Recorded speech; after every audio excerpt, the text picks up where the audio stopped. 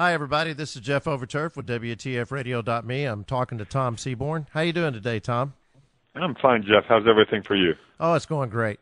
Uh, I was a little bit late today. Sorry about that. I was riding my bike against the wind. I know. I know you know how that is. I got you. All right. Well, uh, you're going to give us a little tip today on fitness. Uh, uh, I don't know if it's this time of year or what do you got, but uh, tell everybody. Yeah, uh, a big problem is that people sit too much, and you may have seen it on the national news that prolonged sitting is more dangerous than smoking.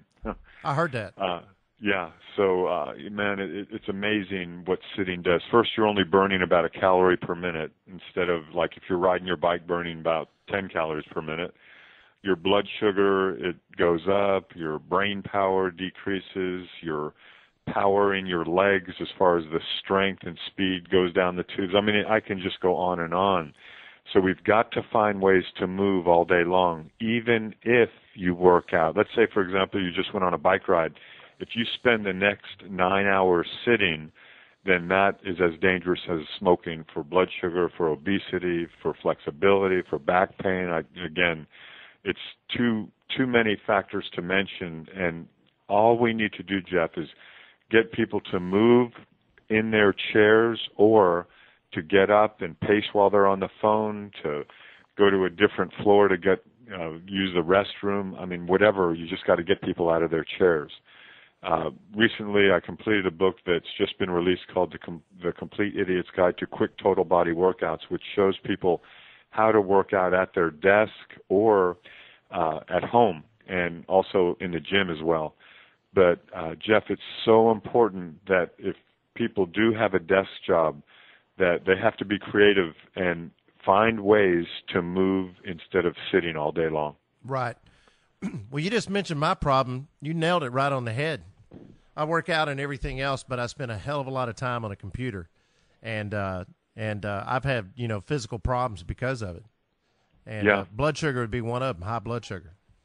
Right yeah, blood sugar, blood pressure. I mean, I, I could I could continue colon cancer, low back pain, uh, the fact that your blood isn't pumping, so your organs need blood to be pumped to them for them to work efficiently.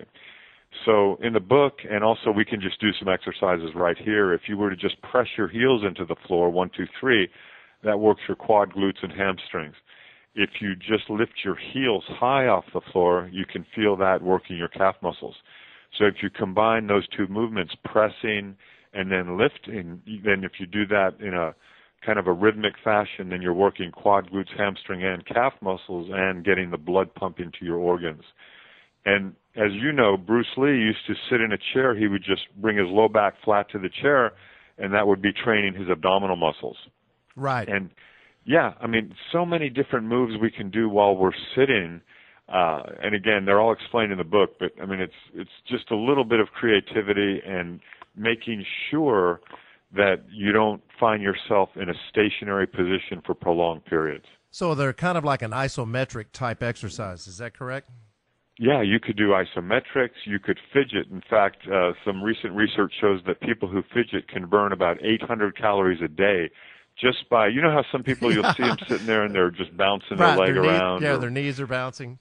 Yeah, yeah. Uh, that that burns calories. So we we can't find ourselves stationary. The the studies were done with people wearing electrodes in their underwear to actually test the EMG activity in the lower body, and amazingly, the muscles in the quad, glutes, hamstrings, calves will shut down for prolonged periods when you're seated, and that that decreases your endurance as well. So, you know, you just went out and rode a bike, but your VO2 max from prolonged sitting will decrease if you're not moving around throughout the day.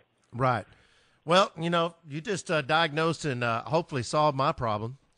I, I think yeah, because uh, I work funny. out and I, everything else, but I spend a lot of time doing editing, you know, doing my show on the radio plus doing video and man, that video work is just you know time consuming. I'm talking about four to six hour stretches sitting in a chair. Right, and and you're not the only one. I I think we all end up you know getting entranced, whether it's at our computer, watching TV, whatever, and we forget to move.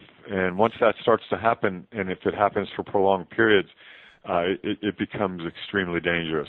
So Well, you're right. This is a good wake up call for everybody. Well, I got a couple of assistants. I got two dogs that bark at me when I sit too long. They get fidgety themselves and they want attention. they want me to go downstairs and put their dog food on the floor. So I think I think somehow that they're trying to help me. You know, Maybe you know Yeah, that, that's they're cool. right out of arm's reach. They'll bark, and I can't reach them to to swat at him or make them shut up or anything. But they make me get up. And when I get up, I, they, Isn't that funny? And you know, maybe they they have that intrinsic knowledge. Yes, you know, they you, do. You've heard about the animals who are detecting cancer and all Right, that. Maybe right. it's the same idea with uh, prolonged sitting. Exactly. They said, "Get up, man. Open the door. I don't want to go outside. I want you to put my dog food on the floor." Oh, okay. so I'll go over here and do that, huh? All I right. That's cool. Everybody should get a dog or an animal. Absolutely. Exactly. All right, Tom. Well, hey, man, I appreciate the tip today. I'll uh, I'll be giving. I'll, I'll hopefully we can do this on a weekly basis and we can get some more tips going on. So each week, try to come up with something different, and uh, Oh, yeah. so, so the people Yeah, out any- there, so the people Yeah, out there can uh, get some sort of clue about what's going on because we live in a very bad obese society. Yeah, that's fine. In fact, um, you know, I have four tips for today, but we can wait until whenever you're ready for the next one, and we'll just do that. And you know, whenever you're ready, just email me or you know, go ahead and message me, and we'll just do it Well, if- whenever you're ready. If people wanted to get a hold of you, tell everybody how to get a hold of you. Also, Yeah, they can uh, get a hold of me through Facebook. You know, that's how we met. Uh, just Tom Seabourne, S E A B O U R N E.